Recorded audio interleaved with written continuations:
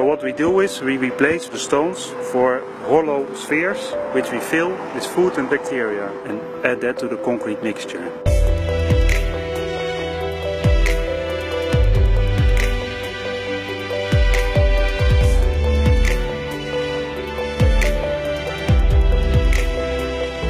Here we see an example of a piece of uh, cracked concrete. You can see the crack and even a big hole. Here you can see that the bacteria have closed the crack and even the big hole completely filled with uh, calcium carbonate.